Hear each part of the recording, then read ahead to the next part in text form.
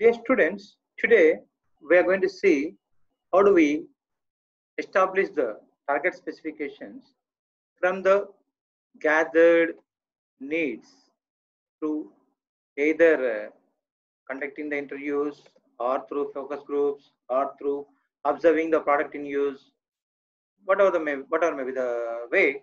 And after gathering that particular uh, statements and converting into the inter, uh, interpreted needs, and thereafter we need to see how do we need to put them into a design specifications or target specifications, which could be seen by us or either market, uh, the way how it could be comparable with other competitive products.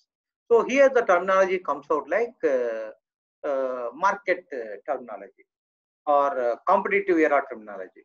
So, so far what we have seen is uh, from the customer how we are able to receive the information, how we are able to translate that information, and now we are going to see like how we are able to make this translated needs into a specifications that could be compared across the market domain very specifically for a similar type of products.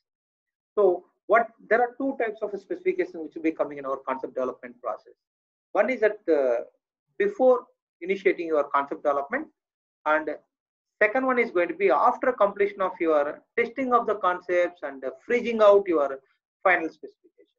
So target specifications are going to be based on the customer needs and benchmarking and final specifications are going to be based on selected concepts, the feasibility, ensured feasibility and models and testings and trade-offs. With that, what is the way that we could uh, deliver it?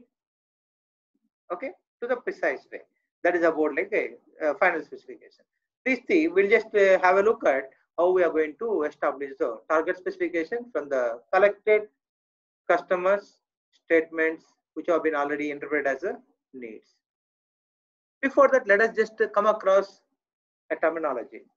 Depending upon the type of product, either it could be a software product or hardcore product. There is a slight variation in usage of uh, these words. If it is going to be a software organizations, they use it to name instead of specification, they call it as a document. In engineering world, most of the technical products, whatever the whatever the uh, products that we are developing, we say it like engineering specification, requirement specifications, design specifications, testing specifications, validating specifications. The way how it could be named uh, after the the particular activity and what you wanted to verify across. When you see about the computer organization, they say like requirement document, design document, verification document. So that way, there's a slight variation, but the re meaning remains same. So the uh, which could be applicable for the software uh, products and engineering.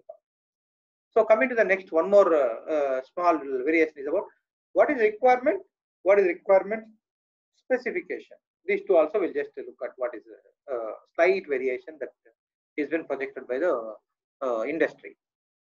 Requirement means the functions, performance, qualities and constraints.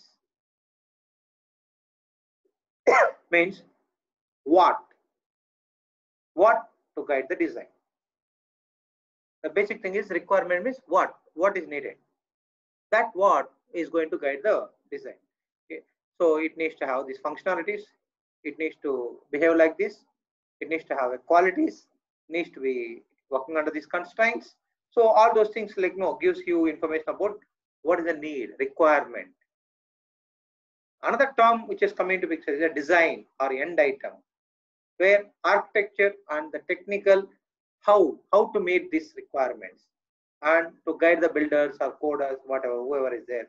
So design the term is given or end item specification, design specification. It works out like how you are able to provide this requirement.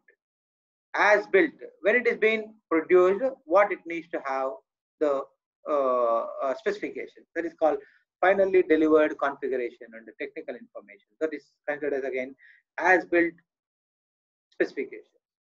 Test or verification specifications. Prove that it meets the requirement uh, by measuring it by verification by validating specification what the quality of the requirement is an essential factor in making the development more successful by generating higher customer satisfaction based on the real information collected from users.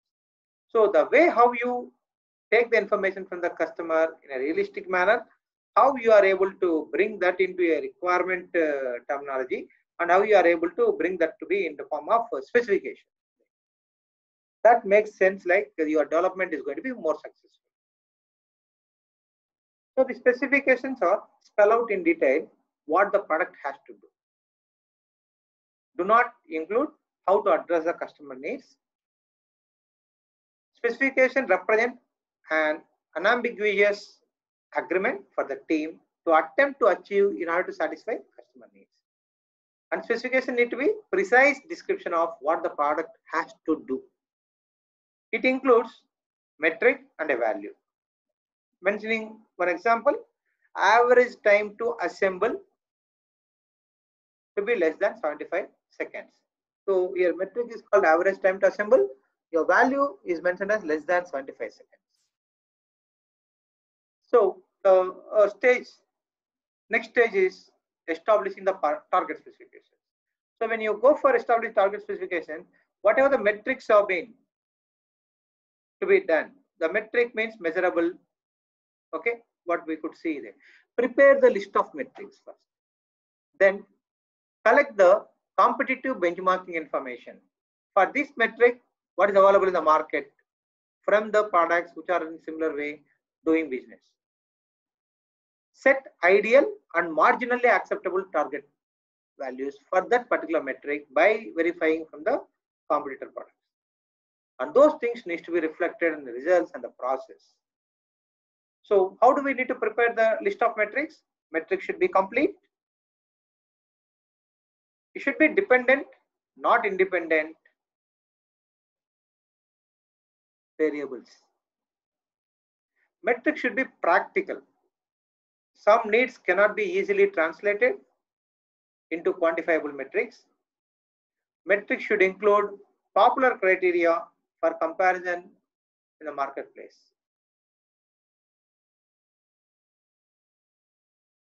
For example, let us see this ballpoint pen. Customer need is pen writes smoothly. Here that attribute is writing smoothly. The product what he is expecting is one pen.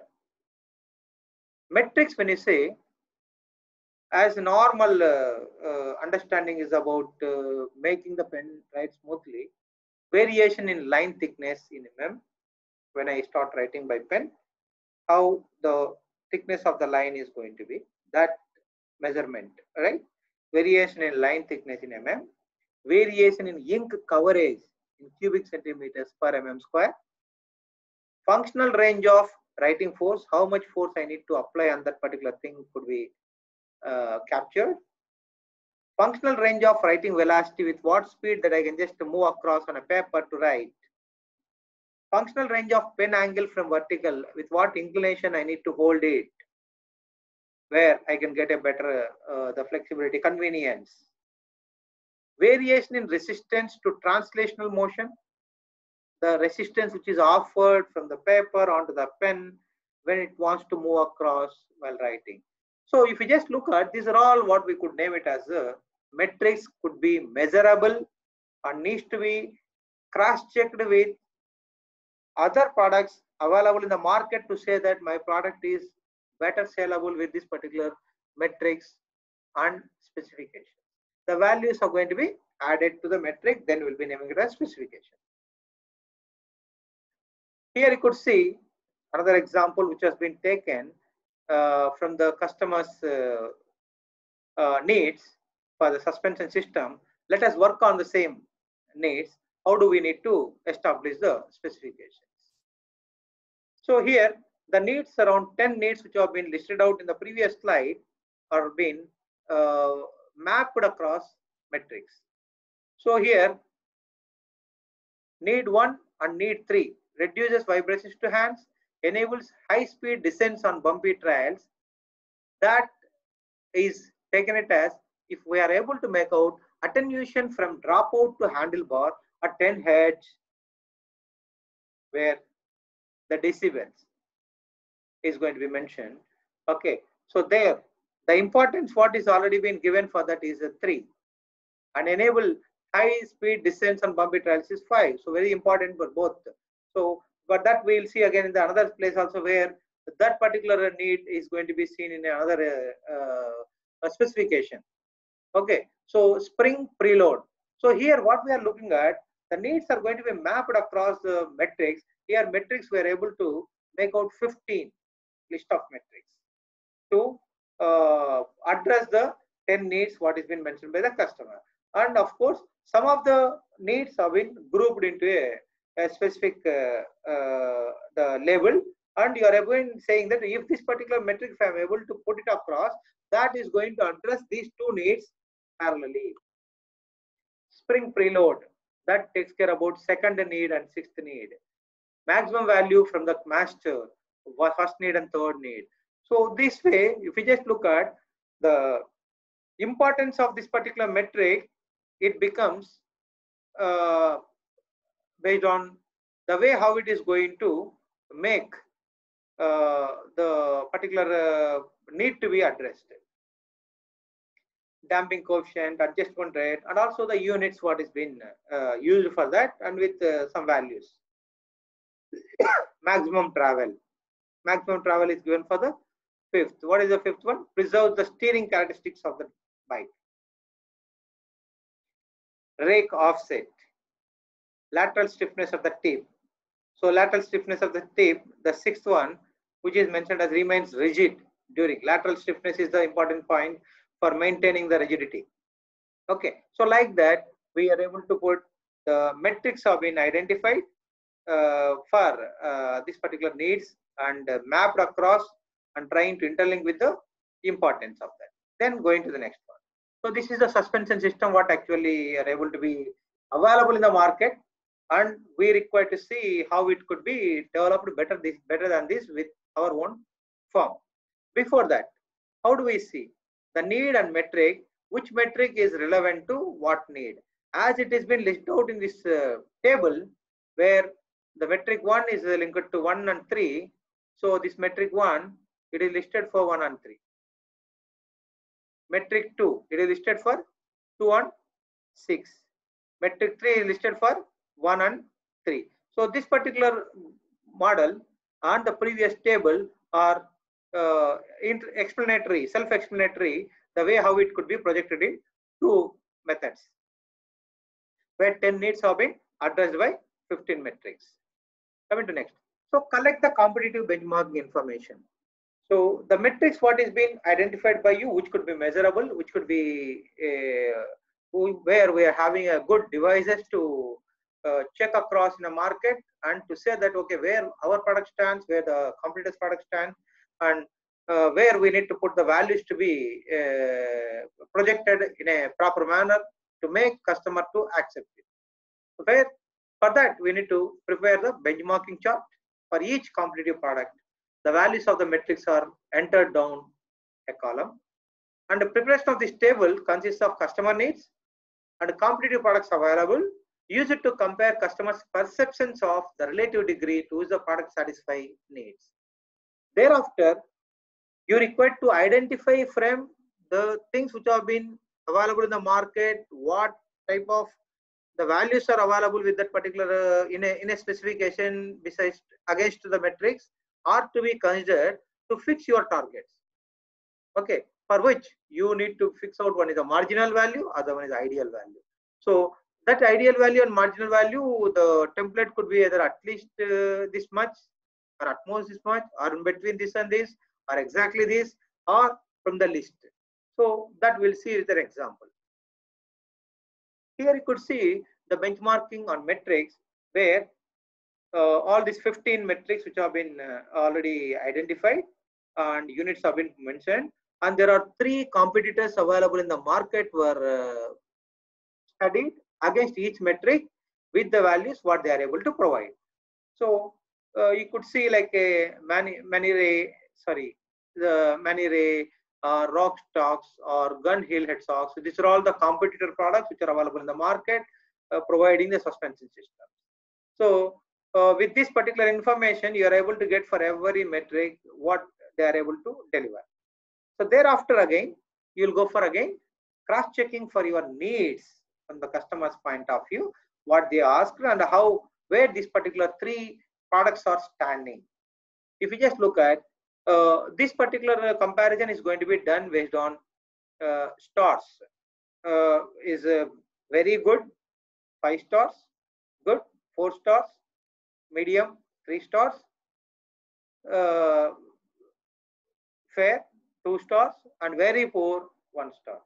So the way how it could be taken out is the rating of that particular uh, product against each need is been listed out. And we could see reduces vibrations to the hands. Uh, it has been experienced by the user uh, by the designer by comparing these three products which are available in the market mentioning that Maniray is doing better compared to rogue stocks and uh, gunhill headstock because it has got four stars the gunhill has got three stars and rogues has got two stars. Allows easy traverser there where you're getting gunhill has got uh, better feedback and compared to uh, Maniray and uh, rogue stocks so like that every need is being verified, cross-checked against these three products which are available in the market and trying to find out which product is serving better service, better uh, uh, delivery, better uh, performance against the needs mentioned by the customer.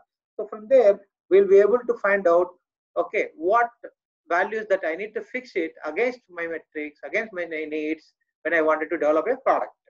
So that particular thing is going to help you in keeping your aim high. This particular thing, what we call it as assigning marginal and ideal values for the metric based on the uh, the previous table what is mentioned against metrics comparison of three uh, uh, different products and you are able to come with which is a marginal value and which is ideal value you will try to aim for ideal value and even if at minimum you require to make it like definitely to surpass the marginal value so that way we'll try to come with uh, uh, the values to be put in your mind as a specification. This I wanted to achieve. This is something called a target specification to aim at. Attenuation from dropout to handlebar need to be greater than 15. Spring preload between 650 to 700. Maximum value from the master less than 3.2. Minimum descent time on the test track less than 11 okay damping coefficient greater than 200 so that way the units are mentioned here the same way the values are given. This is the metric this is a value. Together we can call it as a specification. So this particular process it happens like iterations by iterations to agree on the targets and reflection after each iteration helps to ensure the consistent results. So for doing this type of benchmarking, there is a very interesting and nice tool which is available is called House of Quality, where most of the industries they follow this particular thing as a suitable tool to put it across everything in a single drawing, where it includes this is something called the construction of house with quality. Whatever the decision I am going to make it is going to be emerged out by constructing this particular house. It includes customer needs, which are called as a wants, and how to meet these customer needs is uh, design features, how. And there will be like a design features are going to be interrelationship with other design features, interlinked.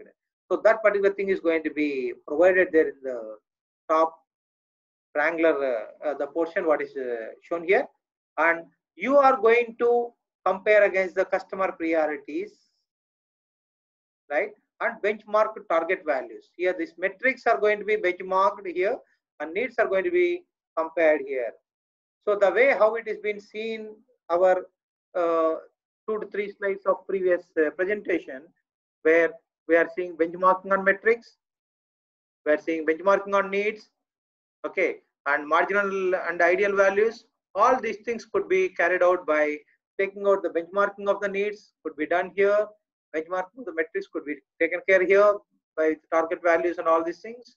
And the interrelationship between one particular design feature to other design feature could be understood here.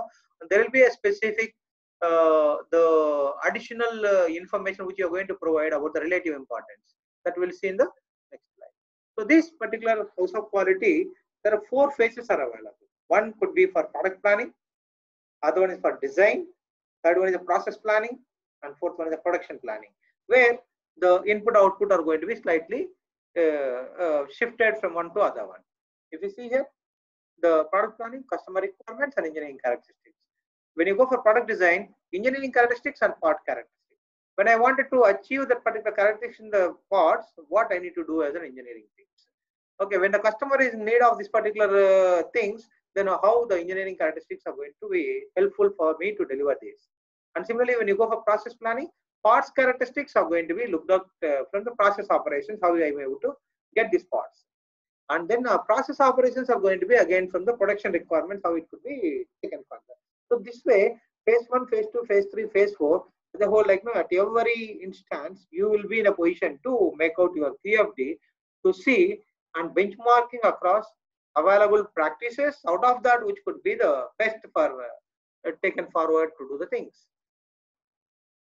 Here you could see an example provided for pressure cooker where you are able to see here this place is about customer requirements. And this is a place where you are having technical requirements right? And this is about uh, technical benchmarking. And this is about competitor uh, benchmarking in the point of uh, customer needs okay? And there is something called the relative importance of the weight. Like uh, the needs which have been mentioned by the customer what is the importance is being provided by the customer on each need. So there you could see like a 5 4 5 5 4 4 3 which are going to say like higher number 5 means that is a very first priority by the customer to be considered to bring out into the product uh, functionalities. So here is saying cook fast safe to cook and safe to handle. These three are the priorities then second next priority is when alarm when cooking completes and easy to use and retain the nutrition value. This is going to be again next priority. And the third priority is it needs to be durable. So the way how it is given. When you see for the cook fast and here the technical uh, requirements, cooking pressure maintenance and uh, sealing and shape, size, thermal conductivity, release pressure and if unsafe, weight, strength and material.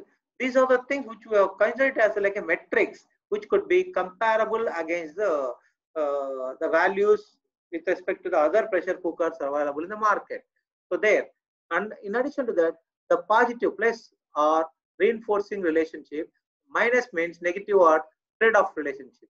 So here we could see zero means no way connected, plus means positive interference of this particular. Uh, if you just look at cooking pressure, it is having some positive uh, like a relationship with release pressure if unshaped. Are able to get it? Similar to that, if you're able to double plus, double plus means more uh, important to be considered when you are looking for the weight, the cooking pressure is going to be doubly dependent on that. And similarly, cooking pressure is going to be depending on the strength also. Strength should be high, then only you'll be able to withhold the pressure to be maintained in a much, much higher level. So like, like that strength and material again is like a doubly dependent and weight and uh, strength, weight and material are again dependent. So the way how it is been made it here, thermal conductivity and the material is going to be dependent more. And similarly, if you go for here, size, size is more dependent on the weight and uh, the way how we could do uh, each one. Here, cooking pressure, it is not depending on the sealing. Okay, and uh, like this, this is going to be taking care about like interrelationship between uh, the technical features, what your technical requirements, what you mentioned. I'm coming to this side. So here you are going to give another uh, weightages 931. 9 means very much influencing. Cook fast means the pressure needs to be, cooking pressure is very important, high. Cook fast, sealing needs to be there, shape is to be there, size. This shape and size are going to be uh, moderate not like completely depending on that. Thermal conductivity, yes, that is a very, very important factor. And material is cook fast material also very important. So that way you could see some of the technical requirements are directly linked with this particular needs to be justified or satisfied. If not, it could be like a multifunctional way. One need uh, is going to be addressed by many technical requirements. One technical requirement may be addressing more than one need. So the way here, cooking pressure is addressing every need, uh, slightly easy to use alone is not uh, uh, like a very good uh, because of uh, cooking pressure. if it is a more, the easy to use becomes like a tougher task. And coming to safe to handle, that is also a tougher task, and durability is a tougher task. Other than that, it is very important technical requirement what needs to be considered. coming to this particular way, our service or product, what we are having in our like a sellability could be rated here. And similarly, when you go for other product which is uh, delivered by product A or competitive service and product B, we could compare and where we are standing, we could see. For cooking fast, yes, we are in a better position. Uh, product B is competing with us. When you go to this alarm also, we are in a better position where product A is also competing with us. Safe to cook, we are not good. So we need to improve in this. So for that reason, we could see what is good in product A and what is good in product B could be understood well, then we require to bring out that particular positive things into our uh, uh, product to say that this particular needs to be um, ideal way need to bring it to five. Then coming to safe to handle also we are not good. So that needs to be elevated in our product uh, what to be released in the market. Easy to use, then retain the nutrition value that is quite well and durability also we are slightly uh, not in a uh, deliver not in a dominant way coming to the other side, these particular technical requirements, importance weighting is already given where uh, the relative importance of weighing, we are going to see each this particular technical requirements which is like a more dominant, which is less dominant. As if you look, look at 9 into 5, 45 plus 9 into 4, these multiplications are going to be added up and you are going to make it this one as a importance weighing. These importance weighings, again, you are going to convert to the percentage where relative importance of weighting, all these things together, you are going to compare. This is a 190 is the highest number, so which is coming to 19, and there is a 15, there is a 9.1, so that means like a divided by 10, which is come because of they're totally around. Uh, uh, uh, there is 1, 2, 3, 4, 5, 6, 7, 8, 9. There are nine uh, factors are there, and uh, relative importance. When you just see here, the nine is the highest number what is given.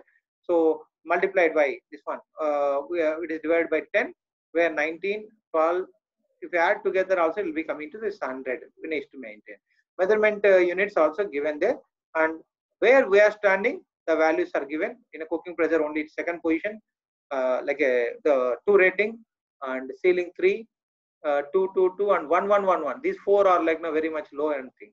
Competitor a and competitor b how they're performing cooking pressure they are doing good uh, compared to us. And competitor b is uh, uh, not uh, much competition.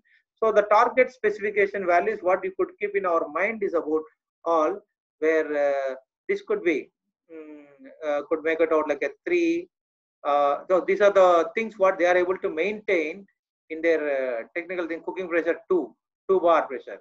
Here competitor A is running with three bar, but we wanted to maintain as a two bar, and here three three two. So two also two is uh, doing uh, better like that because already we are having three. Then let us go with two and the other one is about shape bigger one okay so like that we could choose from this particular study where we can stand better how we can make our product to be uh, having these uh, specifications from the single diagram called as a house of quality this is another uh, uh, thing where we come across the about shampoo you can go through in detail uh, uh, doubts or anything is there, you can come back and again you can discuss specifically on uh, uh, this particular QFDs. Here also what we mentioned there, it is clearly mentioned strong positive means 9, weak positive 3 and weak negative minus 3, strong negative minus 9. So that way how it is a relationship is been given here in between. And similarly here uh, within this uh, the uh, connectivity between the needs and uh, technical descriptors strong 9 medium 3 and weak 1 that is the way like the symbolic way they are given instead of numbers so that particular thing if you just look at uh, uh, the one organization uh, where you are standing and competitor 1 where you are standing and uh, competitor 2 where you are standing degree of uh, difficulty target value what you wanted to maintain uh, what what could the absolute weight and relative weight. So we could uh, have uh, uh, have a study on this one as a additional learning. Go for this. Another thing is about corridor where we could see these are all like functional things. Easy to close stays open on a hill. Okay? And easy to open does not leak in rain, no road noise. Okay, these are the things when you just look at waste, uh, we could say these are all like uh, operating and engineering goals, right? So where here energy needed to close the door, how much is required, door seal resistance, check force or lever, okay, and uh, uh, here energy needed to open the door, okay, then uh, acoustic transmissions window and water resistance, the way how it is been mentioned here, you can have a uh, learning on this and you can come back if any clarifications are needed. Then another way of uh, representing is here, you could see uh, the primary needs and secondary needs. Here primary needs are uh, put into two groups like a performance and aesthetics. Here the technical descriptions also like uh, primary things have been formulated into two material selection and manufacturing process and secondary are given material selection is steel or aluminum or titanium. Manufacturing process is welding or die casting or speed casting or forging or powder metallurgy. As we have discussed about like a production uh, specifications versus the the part specifications, the process specifications. So when you wanted to bring out the process specification with reasonable cost, aerodynamic look, nice finish, and the corrosion resistance, these things. So that could be understandable better with this particular QFD. So as we could see about uh, the tool as a QFD, how it could help us in establishing the target specifications to proceed for our uh, product development. Once after formulating this target specification, how you make the concept development to happen. After testing the concept, then we'll try to freeze out the final specification, which could be uh, witnessed in the final product uh, to be released into the market. So with this, we'll uh, uh come back to uh, the summarizing, summarizing this today's session where we discussed about how to establish the target specifications based on the customer needs and the procedures what we have followed and uh, how would you benchmark this particular uh, metrics, the metrics and the values okay, which is named as a specification. The metrics are going to be tabulated as how these metrics are going to address the needs.